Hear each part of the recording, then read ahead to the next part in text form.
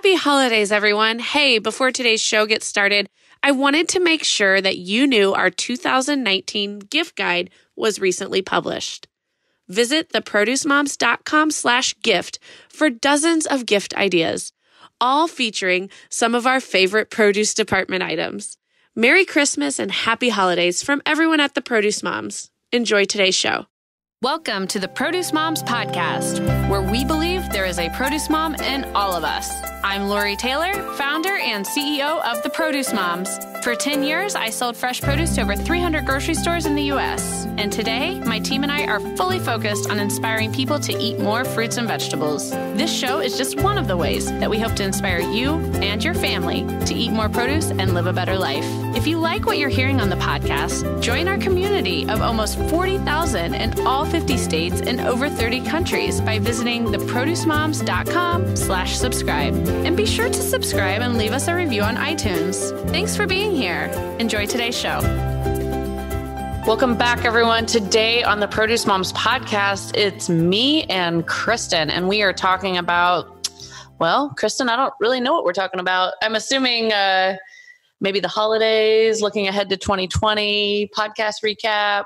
What's going on today? Yeah, we're doing a lot of reflection of 2019. We're talking about the future. And then we've got some quick fire questions where we're going to just ask you, and you have like three seconds to respond. Sounds like a lot of pressure. Okay, so who's kicking this thing off? Me, of course. Okay, go. All right. When you look back over 2019, we always talk about reflection and growth. What is your biggest takeaway, both individually and for the produce moms for 2019? Ugh, I'm. I feel like all I've done is reflect on 2019. Um, I shouldn't have grown before I said that, but all right. So for me personally, it's really easy. I lost like 10 pounds, which sounds um, like not that big of a deal. But tell me, I'll tell you what. If you've ever like been a woman, been a mom, been a busy human being, losing 10 pounds is a big deal. Okay. So that is definitely by far like the 2019 accomplishment in my personal life that meant so much. Also, because I had such an emotional 2018 with my dad's sudden death um, being able to kind of bounce back and dedicate some more time to myself and my personal healing and my personal wellness was a really big deal in so many ways, like good for my physical health as well as my mental health. So, that hands down, that's the easy part of this question for me to answer. Um, in terms of the business, I feel like it's just been so much growth. Absolutely. Yeah, so I would say that because it's been so much growth, um, it's hard to kind of pinpoint, but um, looking back, I mean, certainly the work that we've done with Kroger Health sticks out. You know, supporting Kroger Health and what they're doing, whether it really as it relates to OptUP, as well as the Food as Medicine corporate initiative, um, and of course now with their new brand and consumer strategy of Fresh for Everyone. So I think it's a really exciting time for the work that the Produce Moms is doing with Kroger. Um, we've also certainly enjoyed. Um, a great amount of growth as it relates to the amount of uh, produce department brands that we're working with. We've added a lot of new brand partners this year, including some unique ones that don't necessarily represent um, you know, fresh fruits and vegetables. You know, working with Sticky Lickets has been a lot of fun. Doing more with media, we had some real breakthrough media opportunities. Um, you know, where we're getting into bigger, bigger markets, and we're just on the heels of national television, which is super exciting. Um, and then we've got um, you know, we we at Fresh Summit this year, we had probably the most amazing Fresh Summit we've ever had, Kristen. Which for those of you listening, that's it's kind of like the Super Bowl of the fresh produce industry. Like everyone comes to it, every single brand, every service provider to the fresh fruit and vegetable industry, and um, it's an enormous trade show where most folks are showcasing like their new product line. So at the Crunch Pak booth this year, they one of the products that they were showcasing, and we were able to do kind of a, a little quick ceremony on the uh, expo floor hall where I was able to talk with Tony Freytag and other members of the Crunch Pak team and gosh, what a moment to see the Produce Moms logo on the bag of a product that I buy all the time that is part of so many families' lives. Um, the Crunch Pak apple slices are just a perfect fit for the Produce Moms audience and relevancy. And I just could not be more honored to be able to say, wow, now we, we have, we have a consumer product. That's amazing. Yeah, it's definitely so exciting. So many great things to come in 2020 with that and, and many other things that you know uh, we'll we'll talk about at a later time really. So um, going on we're going to talk about the podcast. So the podcast we started um, you know about a year and a half ago and i will say like it's really taken off this year. We've had so many great guests so many memorable topics that you've covered and people you've talked to. So for you, what has been, you know, one of your most memorable moments of 2019 on the podcast?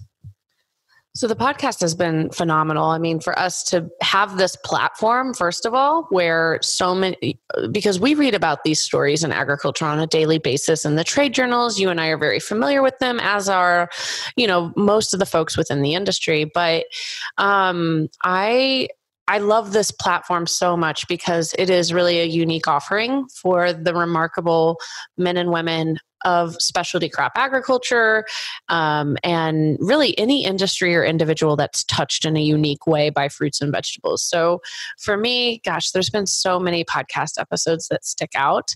Um, I I really think the one that um, where I'm like, wow, I learned a, a ton. Um, speaking with the founder and CEO of Hazel Technologies was a real shining moment for me. Anytime you can speak with a founder, you you know that founder passion is just contagious. So I would highly recommend that anyone who hasn't listened to that one listen to it, especially because they've got some products for the the home kitchen in their forecast for 2020 and the the the purpose of Hazel Technologies is just so important. Um, it's a you know and it's it's all natural and it's just using atmospheric chemistry to um, you know to help reduce food waste which is such a critical issue for the global food supply chain and especially everyone in agriculture. We're, we're passionate about that. Another one that really stood out where I'm like, wow, I learned a lot was um, rPlanet Earth, where we discussed the process of recycling plastic. Um, there's no mystery that plastic packaging is a concern for everyone. And I think that the fresh fruit and vegetable industry is leading the way in terms of um, packaging innovation. And we're in a, you know, I, I mentioned food waste was the other thing. So plastic does help our industry mitigate food waste and so it's you know it is a it's a packaging medium that keeps our food safe that keeps it fresh so the rPlanet Earth was remarkable for me because it really helped educate me on plastic waste is the problem more than plastic is the problem. And what they've done in the state of california to do to have that true closed loop and perpetual recycling system is amazing. And it's my hope that um, you know there's more more facilities you know rPlanet Earth expands and there's more folks like them that are that are helping to reduce plastic waste in the united states and globally. Um, and then uh, another one that was really fun for me was actually the um, Coconut Coalition. I read about that in um, one of the trade journals. I think it was Fresh Plaza. And I was like, this is insane that we have a fruit that is as common as coconut and it has been misclassified by the FDA as a tree nut. Um, so, you know, in other words, if, if when they named the fruit coconut, if they would have simply named it like cocoa fruit, um, it more than likely would not have been misclassified. And that's a, that's a huge problem on so many different levels. Um, we want consumers to have complete confidence and clarity in their food labels. And that this is a scenario where a product is mislabeled um, you know not it's it's labeled as an allergen when it's not an allergen.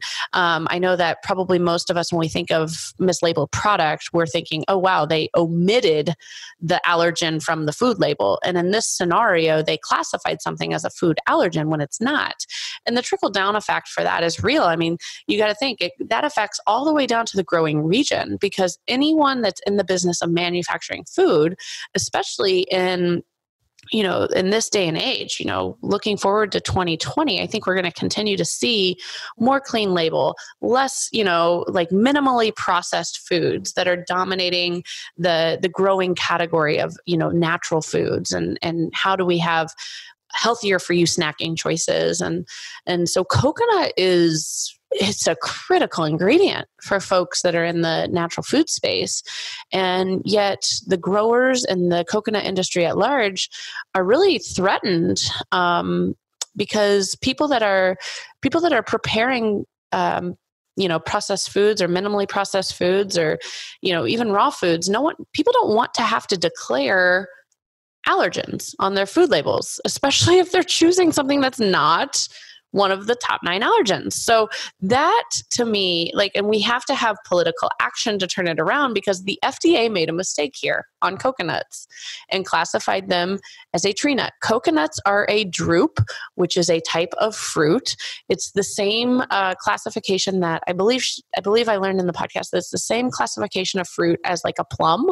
Um, it's not to say that there aren't individuals who could in fact be allergic to coconuts. Certainly like that exists with any item that you put in or on your body but um, it is not one of the one of the primary top nine it does not classify as a tree nut. And that is such an important episode. So I would say those three off the cuff. But um, you know, gosh, I'm I'm an artist. You know, it's kind of like you, it's kind of like being the mother or the artist or the farmer. Like I love all of my podcasts the same way all of the farmers love all their crops. The mom loves all of her children, and the artist loves all of their paintings. You know, so I love all of them, and I could not be uh, more grateful for the amazing guests that we have featured. Um, all of those of you who have taken the time to write review or give us a rating. I mean, I think we have, I mean, we're very close to a perfect five star rating. We have over 30 amazing reviews. Um, and when I read those, it just warms my heart and helps motivate me to continue to stay dedicated to this platform because doing a new episode each and every week. It, it, you know it's a, it's a tremendous investment of both our resources and our time but um, when we get that kind of feedback from our audience we know it's worth it and we're really excited about continuing the podcast and growing it in 2020. Awesome. So, moving forward, we're going to kind of talk about produce trends. What were some of the 2019 top produce trends? And do you think they're going to stay? Mm. Well, I think fruits and vegetables have never been, you know, more more hot, trendy, sexy. You know, fruits and vegetables, uh, they're definitely here to stay. I mean, we're living in this plant based society. Like, that's one of the top buzzwords right now as it relates to the food industry. And guess what? Fruits and vegetables are the OG of plant based. So it's a, it's a wonderful time to be in the business of fresh produce. And in terms of trends, you know, there were, I'm, I'm going to reference uh, Fresh Summit again. One of the couple items that really stuck out to me, I think you're going to continue to see a rise in dates. Medjool dates have, um, you know, kind of emerged as this healthy yet very satisfying, sweet, natural. It's like nature's candy. So if you've never tried a Medjool date, you got to do it. Like 2020 is your year. Actually, don't even wait until 2020. Like go do it today. Yeah, but um, I think you're going to continue to see those type of produce items that can satisfy cravings. I mean, we crave for our food to be delicious, right? That like rule number one as it relates to food is we want it to taste good. Um, and and cravings like that's just part of human nature so there's a couple item there's a couple things that are happening in agriculture right now where like the plant breeding is actually focused on flavor first in a way that it really never has been before. Um, obviously, you know, December brought us the Cosmic Crisp apple. That's an amazing eating experience for so many, you know, apple lovers and consumers out there. Uh, one thing I love about that apple is you can slice it up and it's so naturally slow to oxidize. Like put it on your charcuterie board this holiday season and you're going to love that like i mean you can have that charcuterie board out for six even eight hours. Like the apple's going to dehydrate before it starts turning brown, which is amazing. And it's totally natural. Like it's 100% classically bred. Um, same type of thing happening in the melon category this summer, 2020 in the summertime months. You're going to start seeing some new some new melons that I hope become extremely popular. You've got the Flavor Kiss melon, the Crave cantaloupe. Um, these are I, mean, I was born, raised, and currently live in Indiana. Like cantaloupe's a big deal here.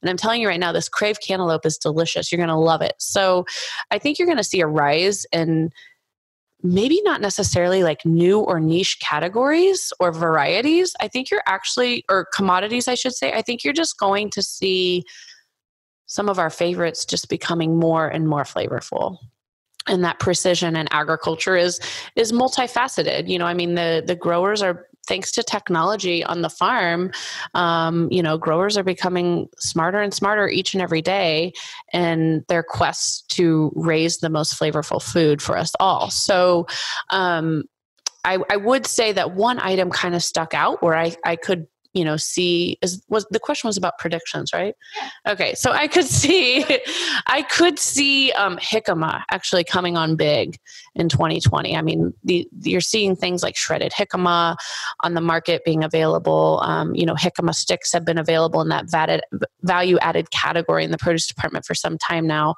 Um, but the jicama tortillas and some of these other really unique ways that you're seeing you know that vegetable being used is tremendous and uh, you know, I, I, I'm going to also go on record where I think you're going to see the celery juice craze continue because, uh, you know, especially as we get into New Year's resolutions. Um, I, I, mean, it tastes great. My goodness, especially if you're using that dandy celery that we all love. It's like the sweetest celery on the planet. Um, and you don't need to add anything to your 100% dandy celery juice. But um, I did see at Fresh Summit some juices, and I've actually started to see them pop up in that juice section in the produce department where it is like, you know, you got your 100% orange juice, and then right next to it, you got 100% celery juice. And how cool is that? I think that's amazing. Wonderful. All right. So, in this last part, we're just going to do a little quick fire, kind of your favorites of 2019 um, you don't have a lot of time to respond, so it's going to be the first things that come off the top of your mind. You ready? I guess this sounds dangerous. I know. Okay. Right? All right. Your favorite new recipe from the Produce Moms website? Oh, 100% fresh ingredient green bean casserole. Thank you to our brand partners at Eat Smart for working with us to develop that. I mean, I could eat the whole daggone tray. we know what Lori's serving at her Christmas dinner. So, okay, your favorite lifestyle segment that we did in 2019? Oh, man. Uh, Thanksgiving 2019 with the sweet potatoes was fantastic. It was a great segment. Um, but really, I would say that probably my very favorite segment of them all was Good Morning Arizona, where we really for the first time showcased the sticky lickets, and we brought they. I was joined in the studio with some kids, and that was a lot of fun. fun, yeah. Um, all right, what was your go-to fruit for the kids this year? Well, I mean, the struggle's real, right? Um, strawberries, it's, you know, I know that that's a, a pretty common favorite among a lot of us, but um, for my boys, you know, they, it was always, Joe was always grapes and Mac was always watermelon. So for me to get that, turn them into big strawberry fans has, you know, been like a huge accomplishment. so, and thanks to Naturipe for your role in that. All right. What about your go to veggie for family dinners? Oh, broccoli. All day long, broccoli. It's the number one thing that we serve at dinner here at the Taylor home. And, uh, you know, I keep it, I, I, I, try to keep it on hand fresh always, but it is something where I buy, that is one item that I always have a bag of frozen broccoli florets in the freezer, like multiple bags, because steaming them up real quick. And you know you can add some special seasoning or a little cheese but really my kids prefer it raw so that's fine with me too. Absolutely. So i know this year we did a lot with charcuterie boards. I mean i can think of several different things whether they were blogs facebook lives we did it on some of our lifestyle segment. What is your favorite thing to put on a charcuterie board? Mm probably dates um, but also let's see you got to have something you the color is so important. Watermelon radish is probably my ultimate favorite thing to put on a charcuterie board. And if you can't find a watermelon radish then a good old standard radish will do do the trick. But the color of the watermelon radish with the red and the green it's just beautiful. And uh, i would i would say that's probably my favorite thing to add but um, you gotta you gotta mix it up. And the, a charcuterie board's a great opportunity to have some fresh fruit. Um, definitely always include your fruit fresh fruit and vegetables when you're building it. Some of my favorites i said the watermelon radish definitely wins the quick fire response but um, celery sticks are great. Uh, you know they're kind of like a natural vehicle for cheese. Um, but we also do a lot of uh, sugar snap peas on the charcuterie boards i build here at home uh, berries are wonderful for your fresh fruit options, fresh grapes. Uh, do a little board with uh, with a little serving spoon of some pomegranate arils. It's really pretty. The bright the bright red also. Um, apple slices, pear slices. Um, citrus like i mean i, I kind of feel like i'm forrest gump here right now listing off every fruit and vegetable in the produce department another trick for anyone building a charcuterie board you should always have some dried fruit as well on there. So some dried fruit favorites that I always tend to um, showcase dried cherries. Um, I do a lot of dried apricots. Um, I do dried figs, and usually for the figs, I cross, I cut them in half or cross section them because a lot of people like they they know a fig but they don't know the dried fig when it's whole. Um, and also like some people just want that little bite. They don't want the whole thing. So i yeah there, so you can't go wrong. everything everything yeah just everything is up for grabs. Everything in the produce department goes on a charcuterie board. There's your quick answer folks. All right what about the prep hack that you want everyone to know Oh, the best prep hack I've got is with the garlic cloves. Throw your throw your head of garlic into a mason jar, seal it up, and shake it. Um, it will fall apart, and the the skins of the garlic. I hope I'm not pronouncing this wrong. I believe it's chaff. I think it's chaff. It might be chafe. It's chaff.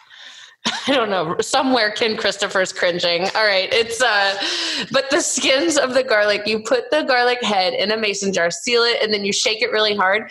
Two things happen. You get a great arm workout, and second of all, the the garlic cloves are like perfectly peeled. Awesome. Whole, yeah, and you're left with just perfectly peeled whole clove garlic. Perfect. California garlic. Buy you gotta buy Christopher Ranch California garlic. All right. The storage tip you want everyone to know. Tomatoes are not to be refrigerated. Period. Ever do not put your tomatoes in the refrigerator. They go on the countertop or in the pantry, room temperature. You refrigerate them, you ruin them. Not really sure how she feels about that. All right. I mean, let's just go on record too. If I'm at a restaurant and I can tell that my tomatoes been refrigerated, I I tell them, I ask the server, I'm like, where do you store your tomatoes? And if they say in the refrigerator, I let them know that I can tell. And I don't. I, I have a hard time eating them. It ruins the flavor. Don't do it, folks. And I'm a testament to that. I have been at a restaurant with Lori when she has sent back the tomatoes because they've been refrigerated. All right. So, what about the fresh herb that makes everything better? Man, this one's hard. Um, I'm going to say basil. I love it on savory and sweet. Basil wins. I love it. It's a good answer. Yeah. All right. Fruit baskets as a gift, yes or no? Depends on what's in it. Can I make a third answer? Okay. Sure, of course. All right. No, okay. Quick answer. Yes. Fruit baskets, it's a yes. However, um, let's get some high quality varieties of apples in there.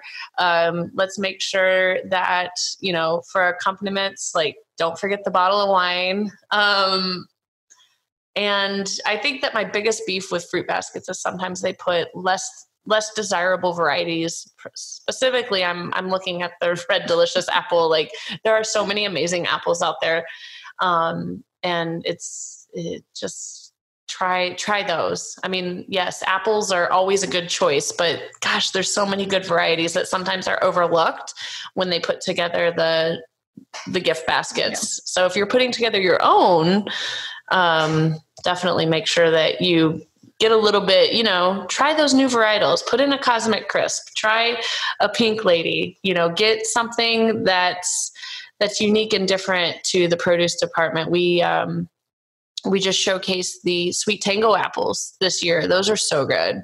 So there's so many so many options out there in terms of delicious fruit varieties and, and citrus too you're going to see citrus the citrus specialty category grow in a big way whether it's with red flesh fruits or um, you know like specialty things like finger limes you're gonna i think you're gonna see a rise of citrus in a way you never have in 2020 so get some unique varieties of citrus in your in your gift baskets too. This is a great time of year. A lot of the citrus at this time of year is coming from right here in USA, and so support your American citrus growers. All right. So along that same line, what about fruitcakes? No. I'm sorry. I want a chocolate cake, not a fruit cake. Unless, of course, it's carrot cake, but carrot's not a fruit; it's a vegetable. So, um, no, I'm a no. I'm a no go on that. We do have a recipe on the ProduceMoms.com for fruit cake, which is a lot better than you know other fruit cakes that are out there. But I'm I'm just not a huge fan.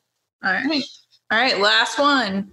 What's the new fruit or veggie that somebody should try in 2020? Mm. Well, pomegranates because I knew I had to have a quick answer. That's the one I want. We have had so many people reach out to us about how to open the, up the pomegranates, and so many people that have only experienced the flavor of pomegranate through things like pomegranate juice, um, and you know the pomegranate arils, which are the little seeds that are the edible part. Those are widely available now in the in the you know snacking section of your produce department. We also call it the value added section. Um, and they're really not hard to open up and you get so much fruit out of one you know so many arils in one pomegranate.